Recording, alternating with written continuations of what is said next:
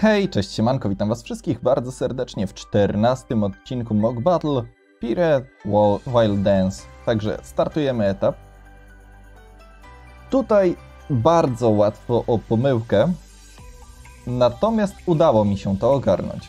Nie atakujcie paladynki, to jest pierwsza i najważniejsza porada. Największym zagrożeniem tutaj okazuje się być wiatrowy Ifrit, dlatego warto go zestunować i dać mu Death Breaka. W tym momencie oczywiście ściągamy shielda ze wszystkich jednostek przeciwnika.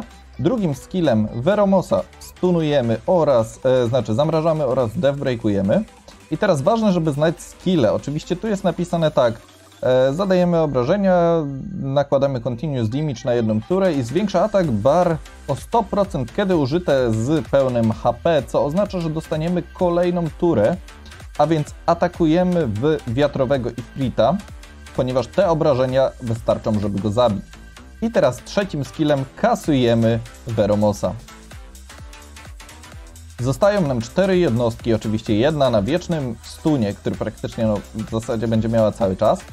Atakujemy autoatakiem w małpkę. Autoatak w małpkę i wpada Death. I w tym momencie e, kasujemy sobie, o ile się nie mylę, e, tak małpkę. E, ponieważ paladynka w momencie, gdyby otrzymała te obrażenia, to by dała sobie, zrzuciłaby wszystkie te tam e, buffy i tak dalej. Ja szczerze mówiąc zawsze próbowałem fokusować, aż w końcu stwierdziłem, że ten Ifrit, bo jak dacie turę wiatrowemu Ifritowi, e, to zrozumiecie, dlaczego warto go zabić.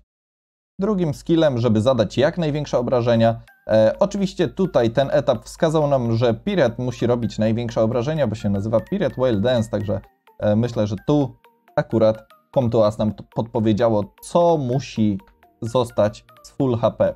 W ten sposób robicie 3 gwiazdeczki, 13 tur i macie zrobione na perfekt. Także mam nadzieję, że się podobało. Papa. Pa.